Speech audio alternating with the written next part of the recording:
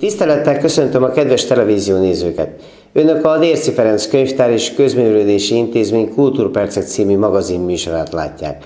Mai adásunk a 60. a sorban. Ez alkalomból a Kondorosi Tájházban vendégeskedünk, itt készítjük a mai felvételt.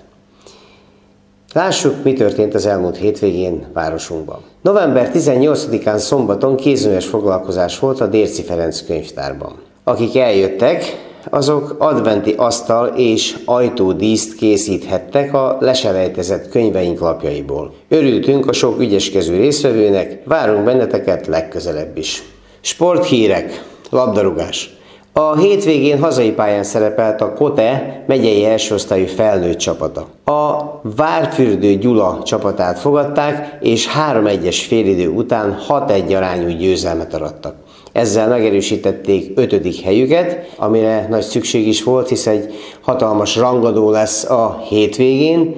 November 26-án vasárnap a listavezető Mékerék otthonába látogatnak a kondorosi fiúk. Az ifjúsági csapat dévaványai kirándulása nem sikeredett már ilyen jó, nagyon gyenge első félidőt produkálva 8-2-es vereséget szenvedtek a dévaványától. A negyedik helyen zárták az őszi fordulót, mert a folytatás már csak tavasszal lesz. Pályára léptek a serdülők is, hazai pályán a vésztő csapatát fogadták, és 4-1-es vereséget szenvedtek a fiatalok, de javításra lesz lehetőség. A hétvégén, november 25-én szombaton 10 órakor Szarvason lépnek pályára. Sok sikert kívánunk nekik! A kézilabdában felemás eredmények születtek. Az MB2-es férfi felnőtt csapat Kiskunfélegyházára látogatott, és 39-25 arányú vereséget szenvedett. A 9. helyen állnak a fiúk, és jövő héten, november 26-án vasárnap 17 órakor a mezőtúr csapatát fogadják hazai környezetben. Az ifjúsági csapatnak már jobban sikerült a félegyházi kirándulás, mert ők 35-33-ra győzni tudtak. A hetedik helyen állnak jelenleg, és a hétvégén, november 26-án vasárnap ők is hazai pályán játszanak, negyed négykor szintén a mezőtúri csapatot fogadják. Itt is nagy meccsre van kilátás, hisz közel hasonló képességű csapatokról van szó. A hétvégén az U14-es csapat is pályára lépett, két mérkőzést játszottak a fiatalok, mindkettőt megnyerték. Az első mérkőzésen a Békés Csabai BDSK első csapatát verték 24-19-re, míg a másikon a Gyulai Ese együttesét győzték le 29-23-ra. A hölgyeknek is jól sikerült a hétvége, hazai környezetben a Békés Szent András csapatát fogadták, és 33-28-as győzelmet arattak. Ezzel előrépkedtek a hatodik helyre. A hétvégén a záróforduló lesz az őszi szezonban, november 26-án vasárnap 16 órakor Sarkadon lépnek pályára. Nagyon sok szeretettel köszöntöm Paluska Zoltán urat műsorunkban. Abból az apropóból invitáltuk egy beszélgetésre, hogy évek hosszú sora óta az adventi gyertyagyújtásnak a Legendák Földje Alapítvány a szervezője, és közelegvén az év végéhez, ebben az esztendőben is szervezik ezt a programot. Mit tudhatunk az előkészületekről? Igazából az adventi gyertyagyújtás sok éves hagyományra tekint vissza Kondoroson, büszkék vagyunk arra, hogy a megyében talán mi voltunk az elsők, akik e, ezt a típusú rendezvényt kitalálták, megrendezték. Az egésznek az apropóját egy, egy bécsi kirándulás adta, ahol egy kondoroshoz, kondorosi szökőkúthoz hasonló szökőkút lett adventi koszorúként beöltöztetve, és az első alkalommal mi is csupán egy ilyen adventi koszorú felállításáról gondolkoztunk, de aztán ugye minden vasárnapnak e, egyfajta ünnepet is kell adni, a gyertyagyújtásnak ünnepet is kell adni, és akkor ugye egy ötletből további ötletek e, születtek, összefogva a helyi e, egyházakkal, gyakorlatilag egy olyan hagyományt alakítottunk ki, hogy minden advent vasárnapján más-más egyház adta a műsort először. Aztán ehhez nagyon sok jó szándékú csatlakozó révén további ötletek jöttek, hogy akkor főzünk teját, osszunk forralt bort, utána jött az egyház, egy-egy egyház, hogy akkor ő egy szeretett vendégséget kíván a műsora mellé még hozzátenni, és akkor süteményosztás lett. Tehát így igazából a hosszú évek során egy olyan attrakcióvá nőtte ki magát ez az ünnepi várakozás idején, amely én azt gondolom, hogy nem csak szívet melengető, hanem méltán lehetünk büszkék rá kondorosiak.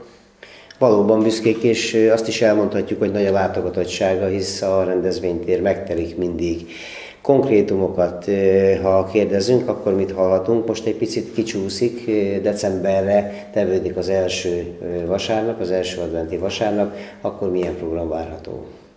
Igen, hát ugye Kondoroson három felekezet, nagy felekezet van, és idén december 3-án a Baptista Egyház szeretett szolgálatával kezdődik az adventi sorozat.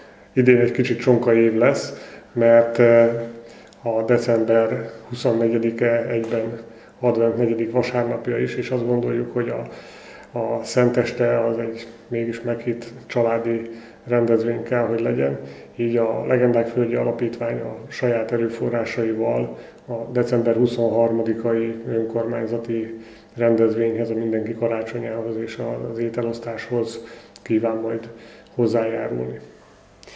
Az első vasárnapról beszéltünk, hogy a Baptista Egyház fogja a műsort adni. A következő vasárnapok hogy alakulnak? Igen, december 10-én az Evangélikus Egyház szolgáltatja a szeretett eh, vendégséget, illetve a műsort, és a harmadik vasárnapon, december 17-én pedig a Katolikus Egyház jóvoltából ünnepelhetünk közösen. Ezeken a szép rendezvényeken köszöntők is szoktak elhangozni. Megvannak már, hogy melyik vasárnap ki fog köszöntőt mondani?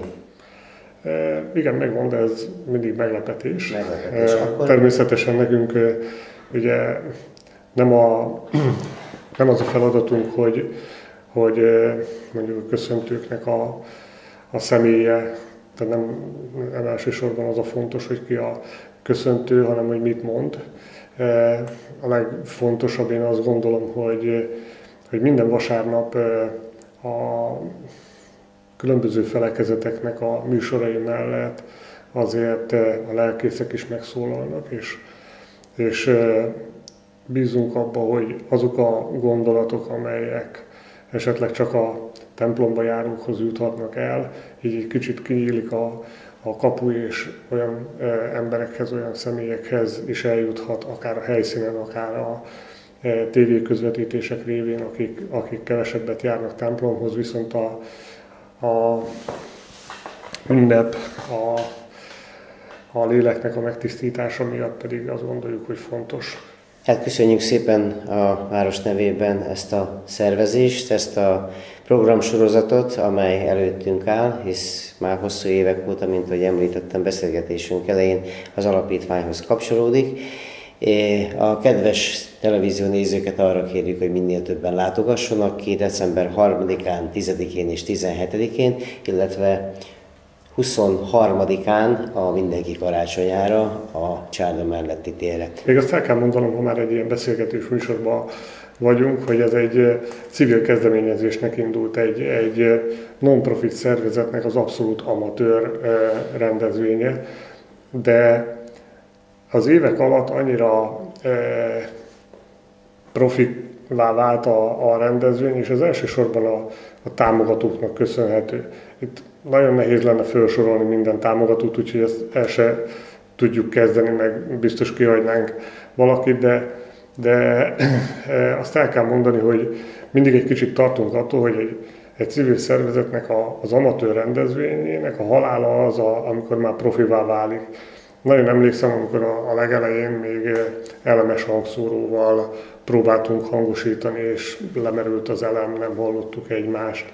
Ehhez képest ma már a high-tech technológiát eh, tudják Olá Péterék eh, biztosítani ehhez a rendezvényhez, és olyan felvételeket készítenek sok kameraállásból, ami lehetővé teszi, hogy, hogy később is visszanézhessék, illetve azok is láthassák, akik nem jönnek ki a térre. Persze ezek a felvételek azért nem adják vissza azt a hangulatot, ami, ami ott van, de, de mindenféleképpen profivá válik, egyre profibbá válik ez a rendezvény, és azért azt hangsúlyosan szerintem meg kell említeni, hogy, hogy ezek a felajánlások, ezek ma már a tizen év után azt eredményezik, hogy, hogy szinte akik ezeket a programokat szervezik, azok már ilyen félszavakból megértik egymást, és, és nem kell azt mondani, hogy na, akkor idén kiajánlja föl a, a teához az alapanyagot, a forralt borhoz az alapanyagot, vagy kihoz süteményt, és egyre többen vannak, tehát e, nem csak a, a résztvevők vannak egyre többen, hanem attól, hogy egyre többen vannak, ez, ez nem azt jelenti, hogy azt a keveset sok felé kell szétosztani, és akkor kisebbek az adagok, hanem a rendezvény szerencsére úgy tudott nőni a támogatók által, hogy, hogy elbírta a, a nagyobb nézőszámot, résztvevő számot is, és ez, én azt gondolom, hogy, hogy legalább olyan felemelő érzés, mint maga az ünnepi alkalom, hogy, hogy egy ilyen közös ünneplésre, egy, egy karácsony várásra, a, az adventnek a, a szellemiségére tényleg meg tud mozdulni egy egész település. Ez örömteli dolog, és úgy gondolom, hogy bizonyítja azt a tételt, hogy egy közösség igazán akkor működik jó, hogyha az összefogás is megfelelő. Hát mi kívánunk további jó szervező munkát, és még egyszer várunk mindenkit, és nagyon szépen köszönjük a beszélgetést. Köszönöm én is. A továbbiakban lássuk, hogy milyen programok lesznek Kondoros városában a közeljövőben. November 25-én szombaton 10 órától kézműves foglalkozás lesz a tájházban. Az érdeklődők karácsonyi mécseseket, függődíszeket és apró ajándékkísérőket készíthetnek. A hangulatosnak ígérkező foglalkozás vezetője Zsiak Ágnes lesz. Szeretettel várnak minden kedves érdeklődőt. November 26-án vasárnap 10 órakor Újkígyóson a Felföldi István sportcsarnokban kerül megrendezésre a Huszár Robert Kickbox emlékverseny.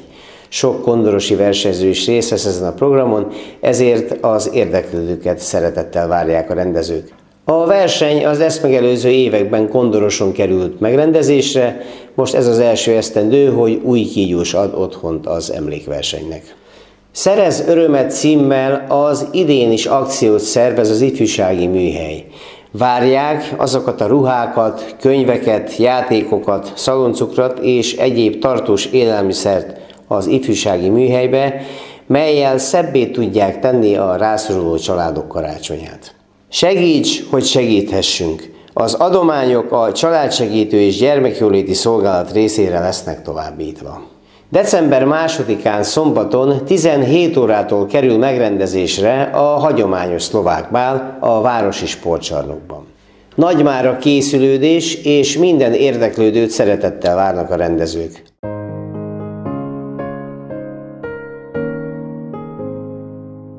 Üdvözlöm én is a Kultúrpercek nézőit! A mai első szerzőnket, Ken Follettet úgy vélem senkinek sem kell bemutatni, aki a kortárs irodalom iránt érdeklődik. A világhírű verszíró nevéhez olyan remek művek fűződnek, mint az évszázad trilógia, vagy a Kingsbridge trilógia, amelynek most jelent meg a harmadik, befejező része is magyarul. A ma bemutatandó regényével a szerző Afganisztánba repít minket, az afgánok szovjetekkel vívott véres háborújának kellős közepébe.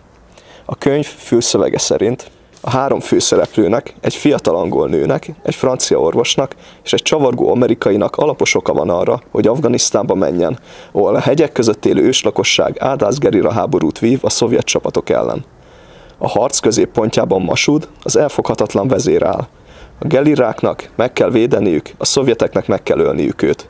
A háttérben két férfi, a CIA és a KGB két sokszorosan kipróbált ügynöke csap össze ellenfélként és szerelmi vetélytársként.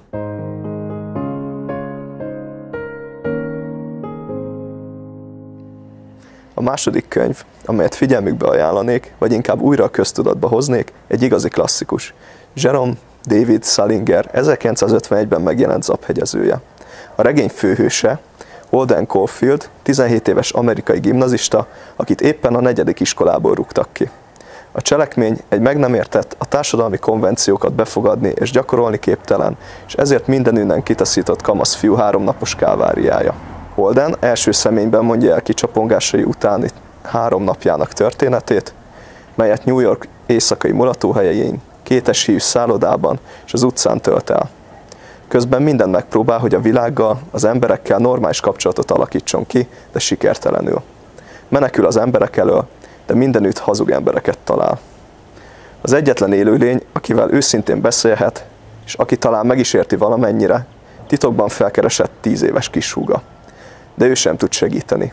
Holden a történeteket egy ideggyógyintézet lakójaként meséli el. Salinger regénye nem csak a kamaszlélek kitűnő, hiteles rajza, hanem a társadalmi konformizmus ellen lázadó ember kudarcának is szimbóluma.